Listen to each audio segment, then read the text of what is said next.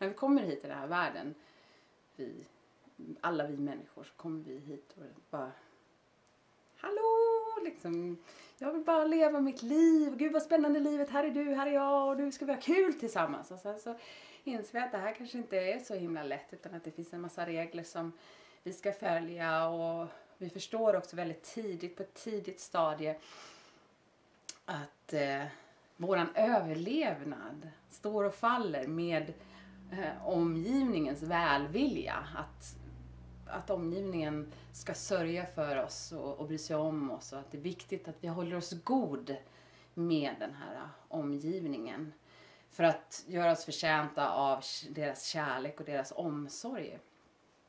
Och i det så uppstår eh, också det här ett slags beroende. Det blir det. Vi är som barn, nyfödda och nykomlingar till den här världen så är vi ju beroende av vuxenvärlden. Eh, och vi har också de här grundläggande behoven naturligtvis som barn. Vi har ett behov av att känna oss älskade, känna gemenskap, bli sedda, accepterade. Det finns väldigt många grundläggande känslomässiga behov. Så att om några av de här behoven inte blir mötta och inte blir sedda i olika sammanhang så kan det uppstå ett sårat barn, ett barn som upplever en brist.